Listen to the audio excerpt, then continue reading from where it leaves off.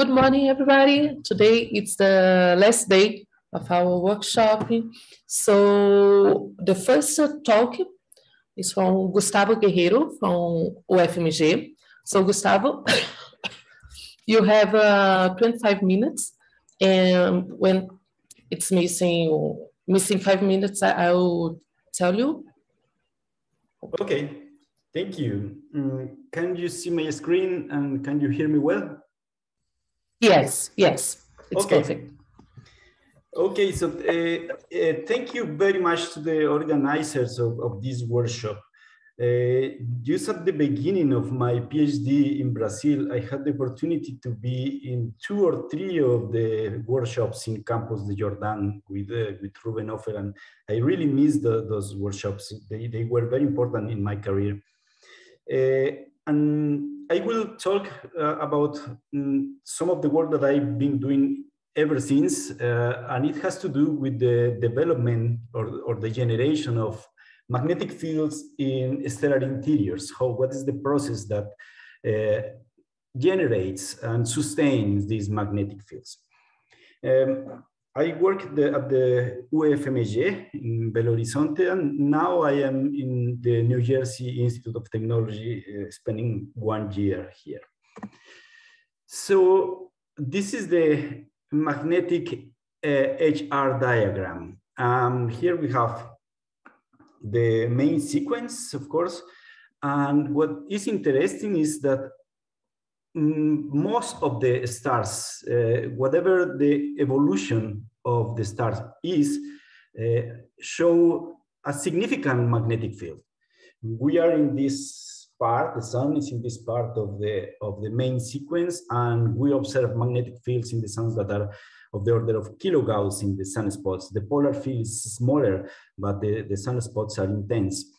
Uh, but when we go to red dwarfs or even pre-main sequence stars like T Tauri, uh, these stars have huge, huge magnetic fields, huge dipolar magnetic fields of the order of the kilogauss. So the things that we see as very small patches at the solar surface uh, become a, a huge polar spot because this because the dipolar field is enormous.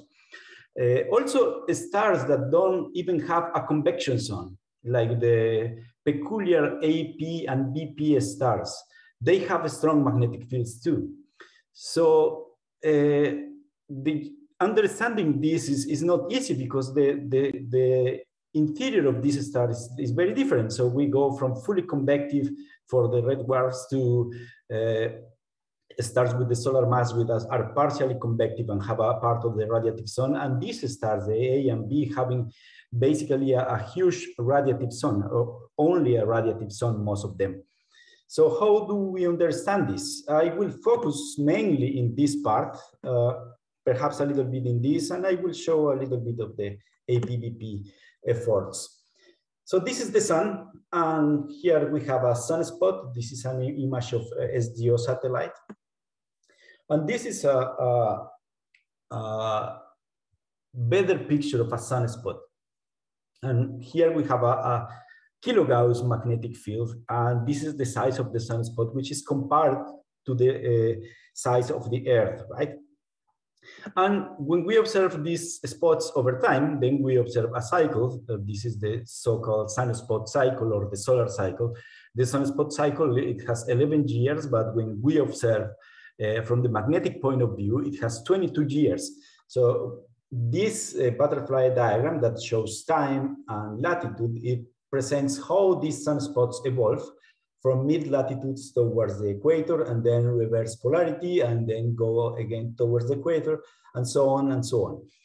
And at the same time, uh, when the number of sunspots is in the maximum, the dipolar field reverse. At the pole, the uh, magnetic field just flip, like uh, the magnetic field at the Earth should do uh, any time uh, in the future. It has done several times in the past. But the sun is not unique in the sense of having magnetic cycles. Uh, there are many, many stars that if we observe the absorption line uh, actually, the, the, it's an emission line that is in the core of the absorption line in, the, in, in calcium. Uh, and this line is, is, susceptible to variations in the magnetic field. And because of this line, we can, we, we can observe uh, magnetic cycles in, in, in, many, many stars. These are only a few examples. And this, this paper of Baliunas of the year 1995 is a, is a reference for uh, presenting the first results in this, in this sense. Uh, and nowadays we have even better knowledge of this because we have the ZDI technique. ZDI uh, stands for Zeeman Doppler imaging. So it combines Zeeman effect with the Doppler effect and take spectroscopic, spectroscopic lines and it study how these lines are affected by magnetic fields pointing in one direction or in the other direction. And it's possible from uh, uh, spectral lines to get a map of the magnetic field in distant objects. So this is an example of the star HD 201019. And what we observe here is the star from the pole. So this is the poloidal field. And, and here you see this star is, is quite similar to the sun. You see a, a, a negative poloidal polar field uh, in this time. And it is changing and it becomes the, the toroidal field becomes dominant at some point, and then we have again a dipolar field, but with the opposite polarity. So something very similar to the what sun does uh, this star is doing. And we have also uh, several examples of ZDI observations. Even we have been able to construct, not myself because I don't work in this area, but it's possible to construct butterfly diagrams, at least for one star that has a short cycle, so it's easy to follow. Mm, but then what we want to reproduce, what are other properties? Uh, when we think about the cycles of these stars and the stars that are similar to the sun, the things are not easy because we have uh, two different branches. Uh, when we plot, for example, p rot against, uh, or p cycle, the period of the cycle against the period of rotation. Uh, there are two branches, the so-called active branch, active because the magnetic field in these stars is, uh, is larger, is, is, is, is, is, large, and the inactive branch with weaker magnetic fields. But then the periodicity have these two branches, and this is something that is uh, till now is an open question. There is no way to, no, no easy way to, um, to explain this. Also, mm, about the amplitude of the magnetic field, the uh, this is the magnetic field intensity against the Rossby number. And here the Rossby number is, uh, so uh, Rossby number is a, is a tantamount of rotation or, or the, the, the relation between convection and rotation. So small Rossby numbers mean fast rotation and large Rossby numbers mean slow rotation. And then it's possible to see, to observe that as the star are spinning faster, the magnetic field is increasing, but then it gets to a point where the, this rise of the, of the magnetic field stops and the magnetic field gets saturated. Why it's saturated, it's, a, it's also an open question. So the sun have properties of the magnetic field along the solar cycle, and we know this well. We have scaling laws for the period of rotation comparing with the period of the cycle, and then we have field strength uh, against the Rossby number, exhibiting this property. So these are basically the things that any dynamo model uh, should reproduce, right? What about the large scale motions that drive these magnetic fields? For the sun, we know the differential rotation. The sun is spinning faster at the equator than at the poles. This is called latitudinal differential rotation. And below the convection zone, that is at 70% of the solar radius, we have uh, rigid, rigid rotation, solid body rotation, and this interface is called the tachocline. Also, we have variations of this motion. This is, these are called torsional oscillations. These are likely due to the magnetic field exerting a torque over the motions. And then we have uh, motion in the other direction, the meridional flow. Uh, we observe in the sun that the uh, material is driving towards the pole um, with a velocity of about 20 meters per second, maybe a little bit less than 20 meters per second. But how is this flow inside the sun? We cannot observe. For the rotation is easy because rotation also split the, the, the frequencies of the, of the sound waves. Uh, but, but uh, since meridional flow is so weak, uh, it's not easy to measure how it's in the interior. So we don't, for other stars, we don't know much about these motions. There is a nice paper of asteroseismology by Benomar and collaborators, and there are also results using ZDI by uh, Kochukhov uh, in 2020. But mm, to get a, a, magnetic field, we also need turbulence. We need the uh, small scale motions. And in the sun, we know the supergranules. And the supergranules have a, a, a length scale of about 30 megameters. It, it's clear in the peak. And uh, we likely have giant cells too. Uh, this is an observation of uh, Hathaway and Upton removing what is possible to remove and trying to get a signal of larger scales. So this is still controversial. We don't know for sure that these motions are there. But when we do the spectra of all these motions, then we have the uh, well-resolved spectra for supergranulation with a peak in these 30 megameters. But then we don't know how is the energy distributed in the largest case. Uh, apparently, this line is the better observation that we have. Probably this peak here corresponds to the giant cells. But in 2012, a paper, an observational paper came with this result.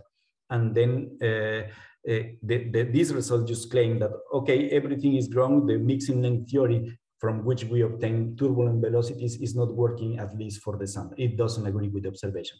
Like, uh, hopefully, uh, well, it was good that the revisions of this of this work now have results results that are uh, at least a, a better consistent with what, what we know with of mixing length theory. So how do we model the magnetic fields or the development of magnetic fields in the stars? Uh, magnet, uh, MHD equations, these are the key. And I pre I'm presenting here the anelastic version of the MHD equation. Anelastic means that we, uh, I am filtering the sound waves and this helped me in numerically to have larger time steps. But the, the induction equation is the same, it doesn't change. The uh, continuity equation changes. Now I can have a, a profile of density, but I don't have variations in time of this density. So these equations are probably familiar to you. We have uh, mass conservation, momentum conservation, energy conservation, and the magnetic flux conservation, okay? This is the material derivative and the small, the, the, the dissipation terms. Uh, these are likely very, very small in the stellar interiors. Uh, it, it's possible to compute them from the theory. Uh, and what, then what happens? The magnetic Reynolds number and the Reynolds number of the fluid, they are very large. Uh, it means that the advective or the uh, dispersive processes in these equations are much relevant than the dissipation processes. So we have 10 to the 9 for the Reynolds number and 10 to the 6 for the magnetic Reynolds number. And this just means turbulence is dominating the, the, the dynamics. So we have the mean field theory, and this is the best that we have we, uh, for, do, for doing analytical work. We can split the velocity field and the magnetic field in a mean part and in a uh, fluctuating part.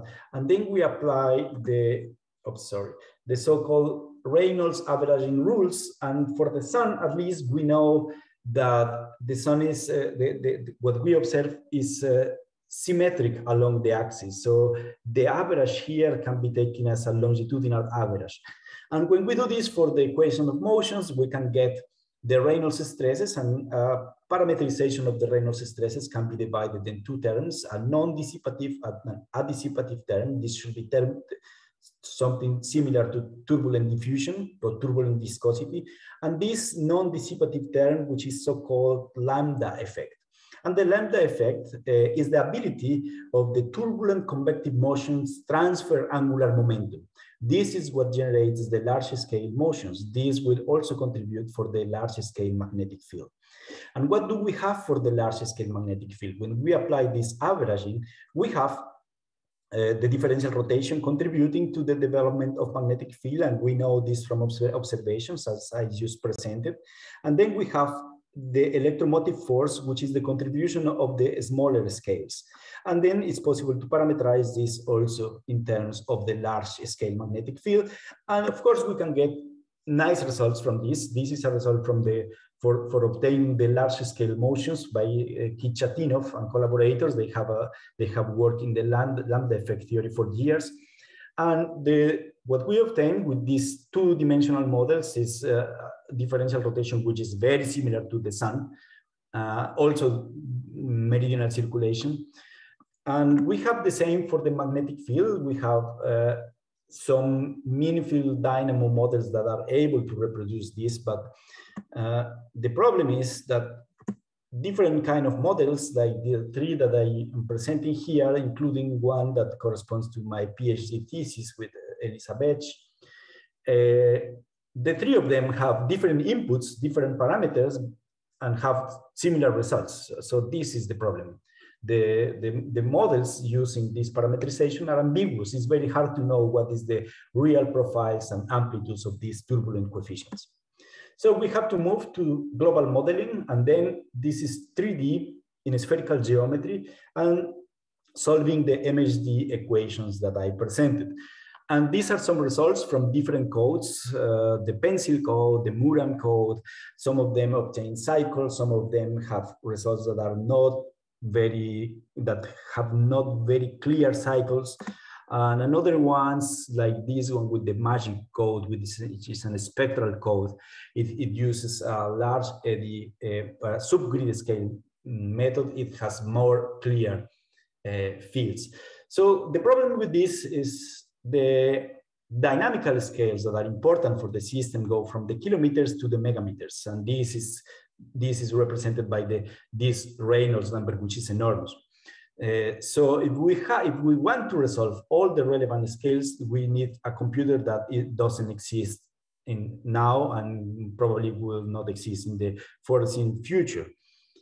Also, for the simulations to be stable, we need large values of dissipations, values much larger than the uh, viscosities and turbulent diffusivity than uh, is expected in the, in the interior of the stars. Also, the energy transfer from top, from bottom to top, this is parameterized by the magnet by the Rayleigh number, and the Rayleigh number in the sun is of the order of 10 to the 24, and in the simulation, the best that we can get is 10 to the 7, 10 to the 11 or something like this. Uh, so it's very hard to, to properly resolve the transfer of heat, and it will take a huge amount of time to make a, a numerical system to relax to a steady state right? So we need to do something else. We don't, we cannot rely on DNS, direct numerical simulations, to, to simulate this, this, this, this phenomena. So we need some kind of subgrid scale parametrization. And if you are not familiar with DNS and LES, LES mean DNS stands for direct numerical simulations. In direct numerical simulations, uh, the simulation solve all the scales from the uh, scale where the energy is imposed, large scales, including the inertial range and the dissipative range. This, as I said, is impossible for the sun. And then we have the large eddy simulation or implicit large eddy simulation. The difference between these two is that they have subgrid scale models that model the contribution of the non-resolved scales to the large scales, to the large resolved scales, uh, based in some properties of the turbulence. Okay, so we observe turbulence, we create a subgrid scale model, and then we do a large eddy simulation, simulating only some fraction, fraction of the scales, some part of the scales of the, of the system, and parameterizing the other part based in what we know about turbulence. Okay, if you have any question to this, please you can ask me anytime. Uh, so I've been working with ILES and ILES uses some subgrid scale model that is implicit in the numerical method. So is comput computationally is, is, is efficient. And we try to check, uh, this is a, well, I did some work with this ILES uh, in the past and most of the criticisms from the referees is that uh, it's not is, is, is very hard to know how is working the subgrid scale method. Even large eddy simulations with explicit subgrid scale contributions are very hard to understand. But uh, in astrophysics, it, it's even harder. Uh, the meteorologists, they, they do this all the time. And they are responsible for developing all, all these methods, um, or most of these methods. So using this in, in, in astronomy, in, it, it has been difficult. So I went, I am doing some steps back and going to some simulations which are simple and try to see if I can get convergence of numerics. So what if we can just put the boundary conditions of the model of what we expect from the from to be happening in the sun and we try to get rid of the numerics. How we try to get rid of the numerics? Just increasing the resolution until we observe convergence. And it seems that this with this code it happens it's possible and uh, resolutions that are not not extremely high. So for example in this 2d case a simulation with 512 square already shows convergence you see how this is the uh, this is the uh, turbulent spectra for this is for the uh, variance of the potential temperature. So the resolution simulation with coarse resolution is very far away from the convergence. Then we go approximating, and when we get to 512, it seems that the all scales that are relevant for the system are resolved and the spectrum just converge and shows a very nice inertial range that spans for uh, more than two decades in, the, in, in, in length, in wavelengths.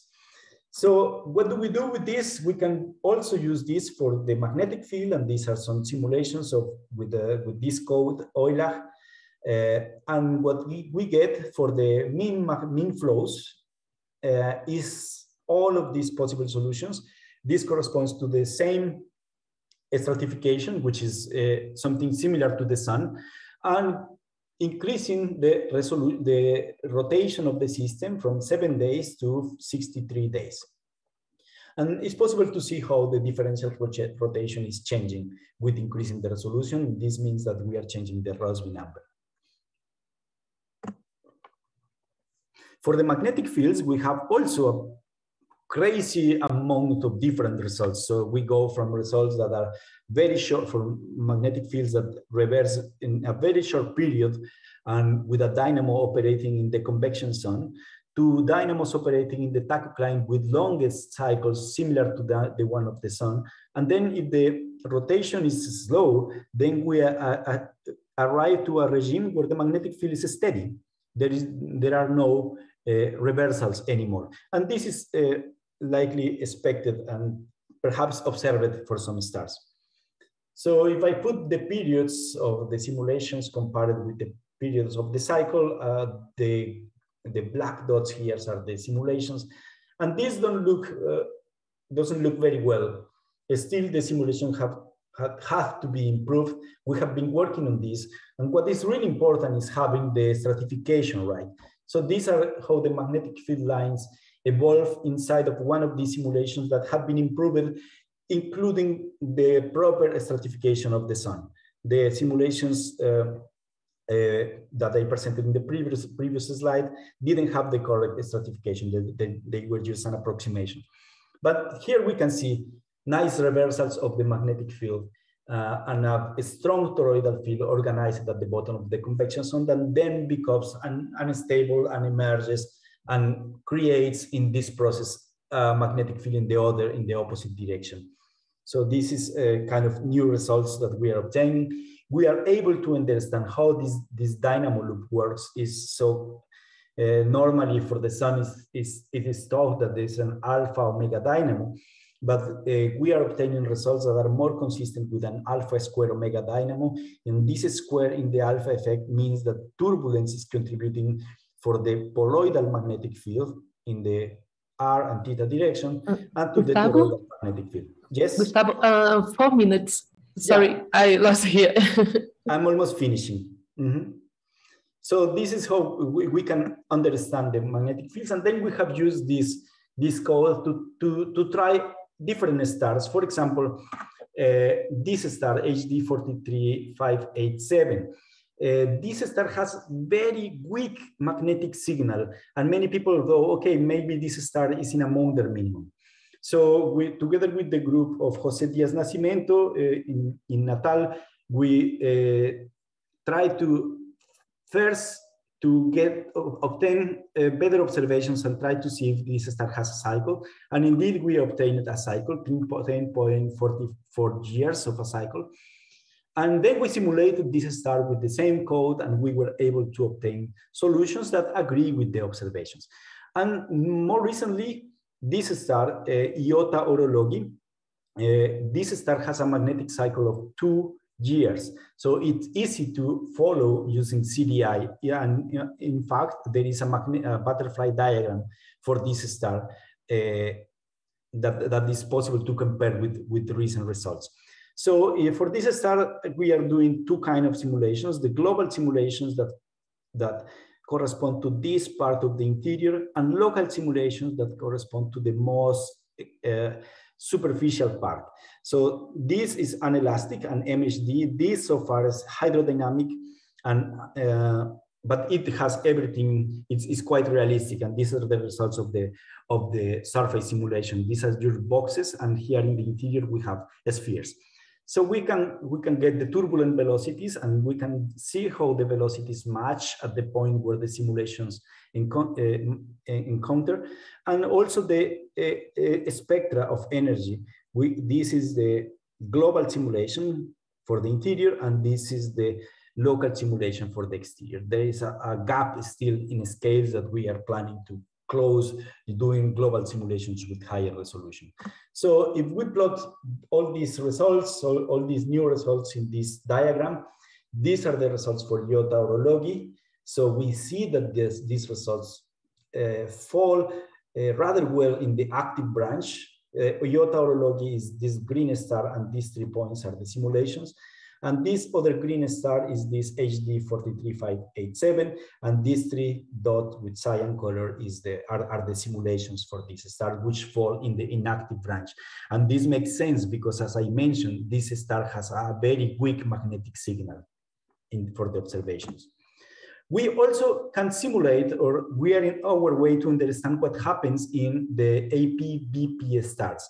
And this has to do with an instability that is called Tayler instability.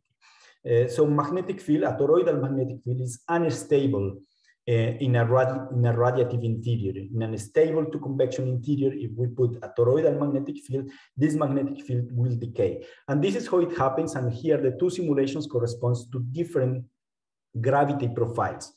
So uh, in one case, we can have a radial uh, uh, profile of the perturbations, but when we when the gravity is strong, the instability happens in, in two dimensions in the horizontal uh, in the horizontal dimensions, uh, phi and theta, and the radius is, is not relevant anymore. So this is work this was published already but we have more work in progress in, in progress with uh, my student guillermo that is probably here in the room now. And well and then i finish here uh, just saying the mean field models and global simulations can be used to understand the generation of large scale flows and fields in the sun and other stars. Mean field models are theoretically sound they are good but they require a large number of free parameters. Global simulations include most of the physics, but they don't have sufficient resolution to model a system with high Reynolds and magnetic Reynolds number. So in my view, subgrid scale parameterizations are required to improve the modeling. Without this subgrid scale parameterization, I believe it's impossible uh, in the near future to simulate these objects. Recent results are promising and they are unveiling the dynamics of, of stellar interiors and the generations of the large scale magnetic fields that they show. Okay, thank you. Thank you so much. Uh, if you have any questions, I'd be happy to answer. Thank you, Gustavo, for a great talk. Uh, questions? Please raise your hand um, here on, on Zoom. Oh, Rogério, please go ahead. Yes, so thanks, Gustavo. I have a, I'm not I'm not in this field, so I will ask a, a layperson question. And this has to do with the recent news. so the Parker Solar Probe has just, uh, uh, they say, touched the sun. What can you learn from the data of Parker Solar Probe in this type of research? Mm, well, the, the, what happens in the atmosphere and, in the corona is a result of what's happening inside.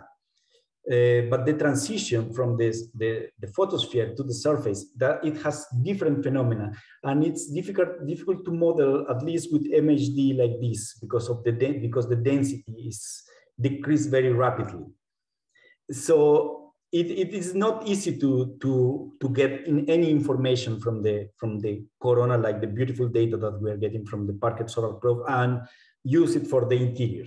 Yeah, the physics, the physics is, is different. Okay, so so you're not going to learn any of the parameters that you need uh, uh, for the global simulations. For the interior, for no, for the for the simulations of the interior of the sun, probably not. Okay, thank you. Would ask the same thing, Rogério. More questions?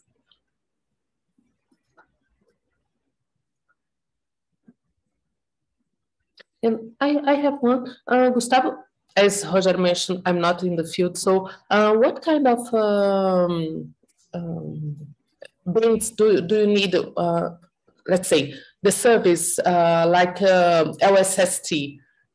Uh, I described a little bit on Wednesday, but we have the, the solar system collaboration group and also the Milky Way. Is it going to be to be helpful LSST for this kind of uh, measurements, or you need not photometry, but you need uh, the observations in a, another band, electromagnetic mm -hmm. band. Uh. To to what we're get, getting now is good results from uh, spectroscopic observations.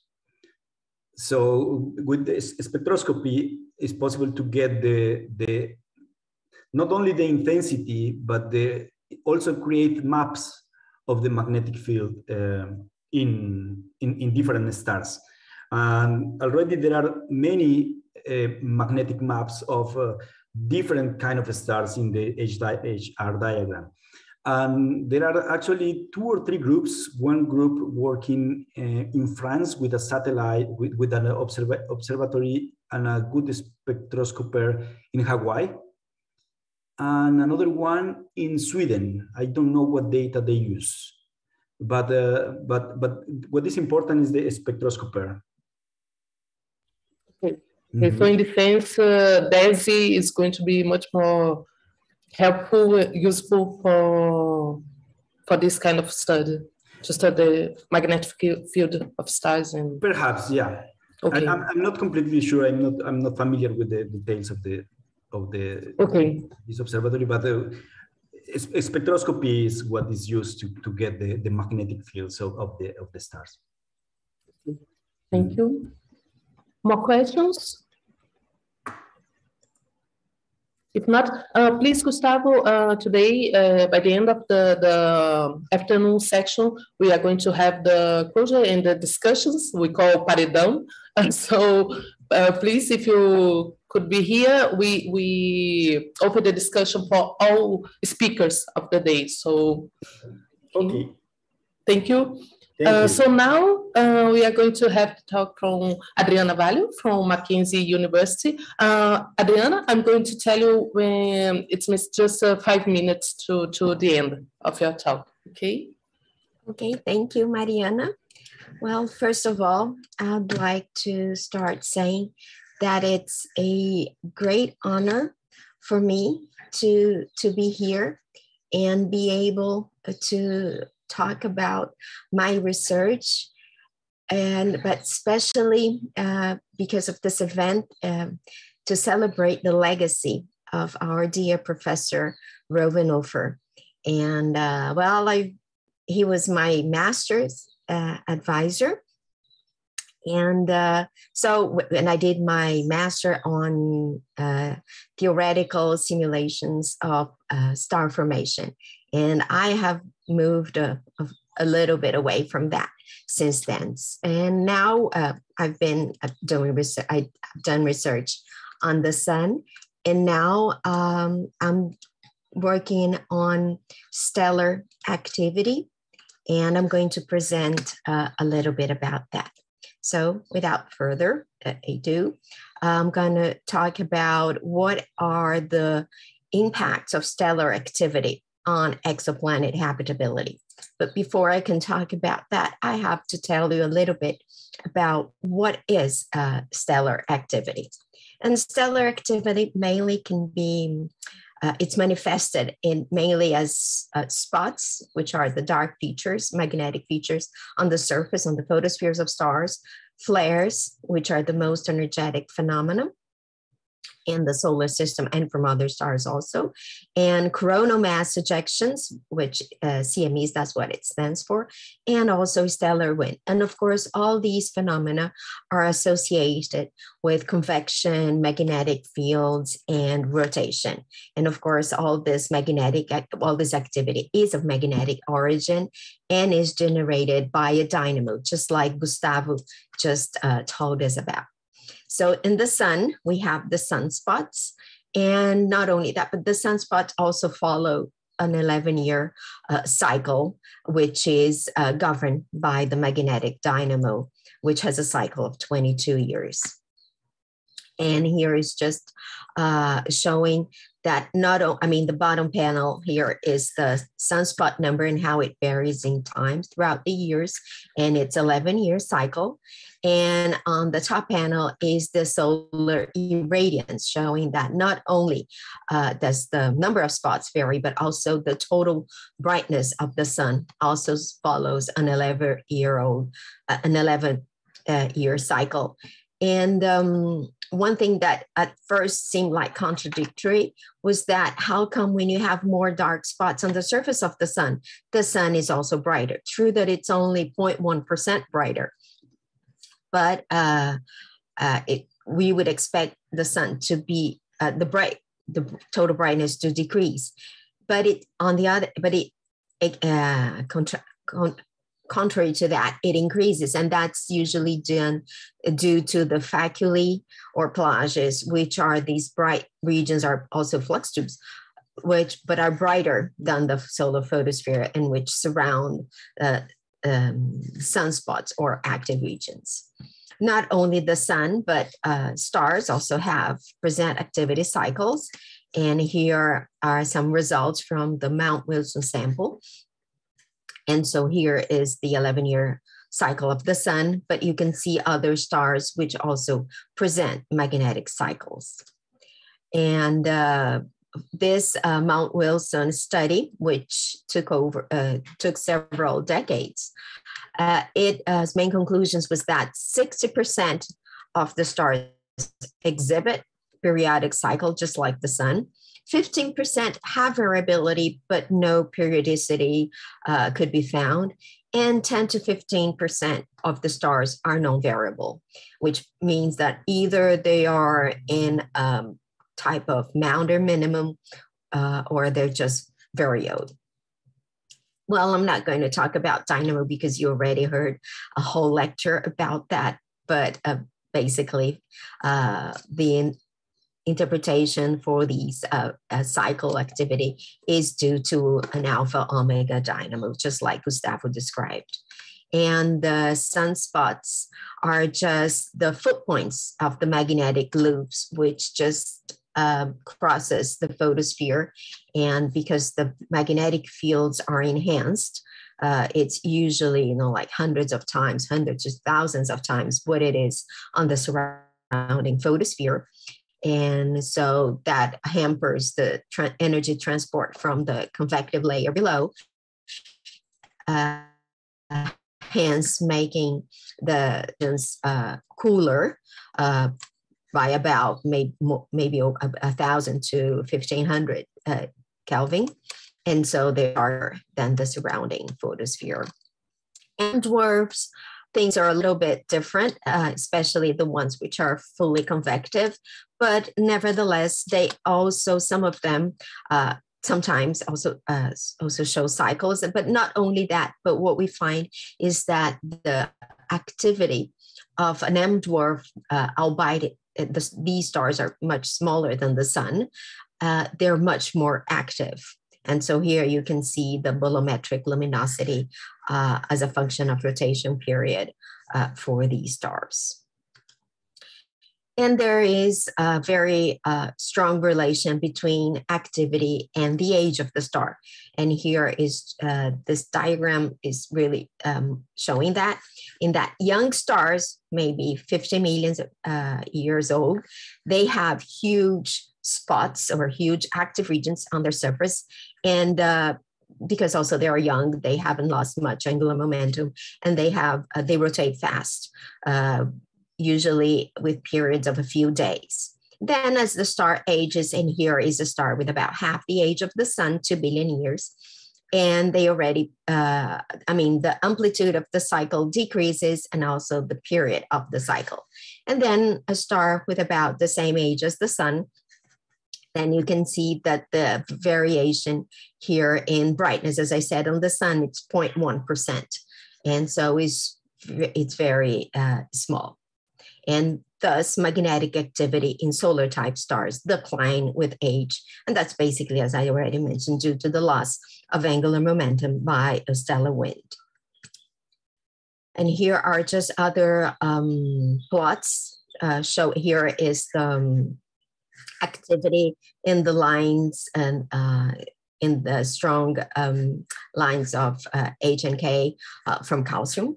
And you can see also that the chromospheric, these are chromospheric lines, that this uh, activity also uh, declines with age or rotation period. The coronal activity measured in X-rays also declines. Here's Rossby number, which is another indicator of the age and also unsigned magnetic flux estimated by Aline Vidotto from um, ZDI maps, which are the Zeeman Doppler imaging of stars, which I'll talk a little bit more uh, shortly. So in solar type stars, there is a very well-defined age activity relation And young stars have strong calcium uh, 2K and H uh, line emission. M dwarfs, as I already fit, do not, uh, as I already mentioned, do not fit the solar type relation. And in these stars, the activity is more um, prolonged. I mean, it lasts longer. And so, in summary, activity is a function of both the age and the mass of the star or spectral type. So, activity uh, characterization. As I mentioned, uh, we can infer the activity of the star from the spots on its surface, from the stellar rotation, and then we can also, if magnetic fields, and if we're lucky enough, uh, measure also magnetic cycles. So first of all, the spots. Uh, spots were the first indicators of uh, magnetic uh, activity, of solar activity on the sun, uh, since Galileo in 1610 already pointed um, the first telescopes uh, to the sun and showed that the sun had the macula, as he called it. And uh, just by counting the number of spots, the 11 by uh, in the mid um, 19th century. But here are how can we detect spots on the surface of other stars? As I said, first of all, there is the Doppler imaging, just for measuring a magnetic sensitive spectral line. We can make a map of the surface of the star, and this is done with spectroscopy, just uh, what uh, Gustavo just alluded to on his answer to Mariana. Uh, also, the photometric modulation that we observe on long time series, uh, photometric time series, uh, like the um, four year long observations that Kepler have, has performed. And also, I mean, this brightness variation of a few percent, uh, it sometimes it can be as strong as uh, six or eight percent peak to peak. It's just mainly due to the spots on the surface of the star because as the star rotates, uh, if there are more spots, young stars different than what uh, different from the sun, differently from the sun, they have more spots, much uh, much higher area coverage of the spots on the surface, and um, and it there are uh, when there are more spots, the brightness decreases, as you can see here. This is uh, the time series of Corot 2, and uh, well, this is from the Corot satellite but you, what you can see is that uh, during periods of minimum uh, brightness means that there are more spots on the surface and uh, periods of maximum brightness, there are less spots on the surface. And then here is the planetary transit mapping method, which was a method that I developed in early in the middle in the century in 2003. And so here's the Doppler imaging. Uh, uh, the top part is a, a, picture of a map of the stellar surface. And here is the line, the spectral line observed. And you can see, uh, for instance, an iron or a, a nickel line, any line that is uh, magnetic sensitive. And you can see the distortions on the line. And that can be mapped and inverted. And just like uh, magnetic, uh, what an RMR, um, magnetic resonance exam that we do, you know, tomography, can, we can invert the same thing, use the same processes, make mathematical methods to invert and get um, an estimate of what the surface looks like. And this is an example of one of its first applications of a very fast rotator, but this is um, a big a star, much uh, more massive than the sun. And uh, here is the photometric modulation. Here's an example with Kepler 17. And as you can see, when the surface has no spots, you have or few spots maximum brightness and once the spot is then the whole brightness decreases and these uh, things uh, below this um, darker line those are the transits of the hot jupiter that transits kepler 17 on a very short orbit and here is the transit mapping. And basically, uh, the method uses the planet, the transiting planet, as a probe to detect dark or bright uh, features on the surface of the star. And you can see here uh, this uh, small bump. And here is a simulation uh, of the sun. Here is a, a, true, real active region. And then here's a planet like Jupiter. And then here is a planet like Earth, which you can hardly see the little uh, disk and you can see what the um, signatures they uh, cause on the transit light curve. I just like to point your attention that whereas the decrease here for a Jupiter-like planet is 1%, the decrease here for an Earth-like planet is 100 times smaller. So uh, this is the model that I developed. It's called Eclipse. It's available on, on the GitHub. And uh, well, the dark is a 2D uh, the star is a 2D limb dark uh, image, and then the planet is a dark uh, circular circle which crosses the surface, and then you just simulate the orbit of the planet in front of the star and add add up all the pixels, and you get the intensity in the light curve. And of course, if the star has spots, then these are detected here on the transit, and you can map the spot's location, measure its intensity and its size. And then from the intensity, assuming Planck uh, black body uh, emission, we can estimate the temperature. Here's just an example for Kepler 17 with three spots on the surface. The crosses are the real data and the red is the model. And this spot transit mapping method has already been applied to many stars by myself and my students and co-workers. Stellar rotation, just like uh, Galileo and others measured the stellar rotation just by monitoring the position of spots on different days. The same thing can be done uh, if we get if we detect the same spot on a different transit. And again, here's just a, a simulation uh, showing that, for instance, two images of the sun separated by three days apart, and we can estimate correctly what the, the, the, rotation of the sun is. And from that also, if we measure transits at different latitude, we can measure the differential rotation of the sun. Also magnetic cycles, this was the master uh, topic, the topic of the master's dissertation of my student Raíssa Estrela. And she applied this method to just the spots that we're seeing on Kepler 17 and Kepler 63's four-year-long data from observed by Kepler, and uh, she obtained uh, magnetic cycles of the order of 410 days and uh, or 1.13 Earth years for uh, Kepler 17 and a similar period for Kepler 63. So in summary, from stellar activity characterization, we can estimate stellar rotation, characteristics, physical characteristics of the spots, such as size and temperature. Um, if we assume the same relation, I haven't talked about this due to the lack of time, but between the magnetic field and the intensity for sunspots, and we apply the same relation, we measure the intensity of star spots, then we can have an idea of what magnetic fields of in uh, star spots in spots and other stars are like.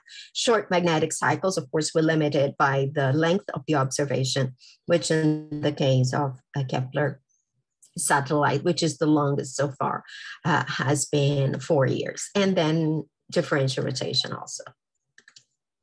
Okay so space weather. What are the impacts of the solar activity on Earth. In Earth, on Earth, uh, this is called the space weather.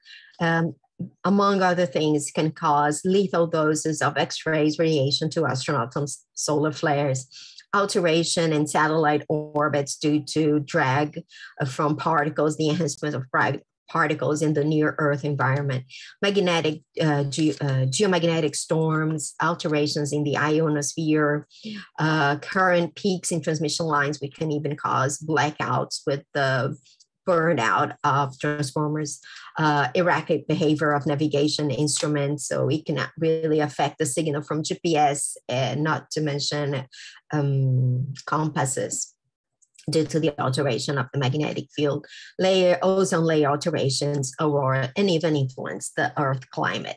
On stars, both winds and coronal mass ejections, which haven't been measured so far from stars, but uh, stellar winds and flares and ultraviolet radiation from flares can cause uh, the erosion of the planet atmosphere as well as the, its photo evaporation and also uh, affect the habit the possible habitability of these planets. So here is just showing uh, transits in the ultraviolet showing that the the planet for instance this planet here uh, or these three planets actually two planets have an enhanced atmosphere uh, which, uh, due to its hot temperature, because it's very close to the star, it emits in X rays and ultraviolet. And this is uh, um, artistic interpretation of what might be happening to HD 189733b atmospheres that is being eroded. And here is a transit. Yes, five, five minutes. Oh, okay. And so here is uh, an evaporation uh, um, uh, evidence by this asymmetric transit, which indicates that there is this comet-like uh, shape um, due to the evaporating atmosphere. And this is the same thing. A stellar wind, uh, just show, here is um, a simulation that shows for Kepler 11, which has five planets. This is the closest planet. This is the further away. And the red uh, dots are the particles from the stellar wind, and the blue dots are the planets from uh, the particles from the planet atmosphere. And you can see the erosion, especially for the close, closest planets. Okay, so CMEs are just an enhancement of this wind, which shows the evaporation. Here are hours. Uh, uh a coronal mass ejection is just an enhancement on the wind uh, where a huge bubbles of plasma are ejected from the atmosphere of the sun. And um, so with enhanced magnetic fields and enhanced particles, when they reach the atmosphere density, when they reach the atmosphere of the planet, it would definitely cause um, erosion. And so for the last part of my talk, I'll talk briefly about stellar flares, which sometimes are called super flares because they are 1,000 to 10,000 times more powerful than solar flares. And here are just some examples of flares with uh, where um, the largest solar flare detected so far uh, from the sun is 10 to the 32 ergs. And here are uh, 300 and, uh, a report, an early report of 365 super flares with energies larger than 10 to the 35 ergs. And this is just a plot showing that the super flares seem to be, uh, this is just the frequency plot. So the super flares seem to follow the same power law distribution of solar flares. So they're basically uh, are triggered by the same mechanisms that solar flares are. And again, just repeating, showing a flare frequency diagram, showing that M dwarfs indeed are much more active uh, than their other solar counterparts. And so here for K dwarfs and G dwarfs. And what about um, super flares on the sun? Did they occur in the past? And uh, this was the topic, one of the topics of the uh, PhD thesis of Raíssa Estrela. And this, I would just like to point out that this uh, thesis won the International Astronomical Union overall prize, uh, a thesis for thesis. And so super flares, when they occur, they produce significant, significant amounts of X-rays and ultraviolet. And depending on the energy of the flare, they can cause changes in the planetary atmosphere by causing loss and changing the composition. And they could also affect the origin and evolution of life. So here, I'll present the analysis of two planets. One planet, which is a hypothetical Earth-like planet at the same uh, one astronomical unit uh, from Kepler 96, which is a star just like the sun, same mass, same radius, but half the age of the sun. And then uh, also the effect of superflares on the M dwarf star TRAPPIST 1, which has three planets in, the in its habitable zone. And uh, um, so let's see. Okay, so before I, I talk about that, so why Kepler 96? Well, as I said, it has an age estimated estimated age of 2.3 billion years. And at this time here on Earth was when the great oxygenation event took place. What is that? That's when the first algae uh, uh, produced uh, uh more oxygen and increase the amount of oxygen for the first time on the atmosphere of Earth. And that allowed for the appearance of multicellular um, organisms. So, what would be the impact of superflares on if uh, on the on Earth? You know, if the sun at the same age also produced the same superflares that we detected on Kepler 96, and for that, uh, to study these two stars, the solar type star and the M dwarf, uh, we did the following. Uh, to estimate the ultraviolet flux, which of course Kepler is, is, an optical, it only measures flux in the visible. So we took two proxies. For Kepler 96, we took the sun, the largest solar flares observed to estimate the ultraviolet flux.